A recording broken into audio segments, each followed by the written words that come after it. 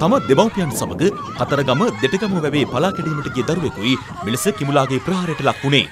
කෙසේ වෙතත් එම අවස්ථාවේදී වහම ක්‍රියාත්මක වූ ප්‍රදේශවාසීන් කිමුලාගෙන් දරුවාගේ ජීවිතය බේරා ගැනීමට සමත් වුණා.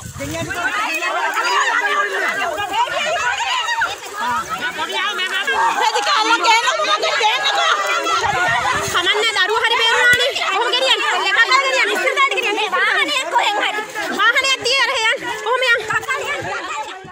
කෙසේ වෙතත් එම දරුවා වැඩිදුර ප්‍රතිකාර සඳහා මාරෝහල වෙත රැගෙන යාමට සිදුවද ඉන්ධන නොමැතිවීම හේතුවෙන් රැගෙන යාමට සිදු වුණේ ලොරි රථයක ආධාරයෙන්.